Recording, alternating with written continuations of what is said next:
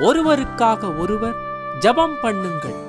நீதிமான் செய்யும் ஊக்கமான வேண்டுதல் மிகவும் பலனுள்ளதாயிருக்கிறது.